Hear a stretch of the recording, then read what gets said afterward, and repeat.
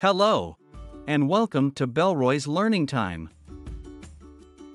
Today, we will be learning about numbers and counting from 1 to 10. Now, let's get started. Let's start with the number 1. 1 is a very special number. It is the first number in counting. An example of one item is one bag. One bag. Now, let's move to the next number. Number 2. Example of two items is two pencils. Two pencils. The next number is number 3. 3. Three books. Three books. And three rulers. Three rulers. Now the next number is number 4. 4. For example, we have four chairs.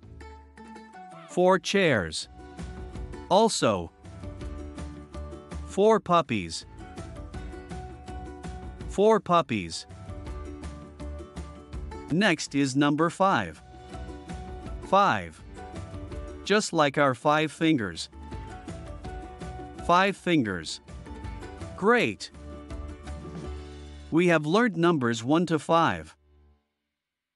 Now let's continue with the next number, which is number 6. 6. Example of 6 items is 6 crayons. 6 crayons.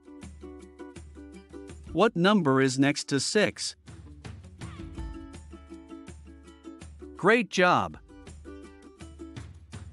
It's number 7. Number 7. Example of 7 items is 7 cookies. 7 cookies. The next number is number 8. Number 8. Just like 8 eggs. 8 eggs. Now the next number is Number 9.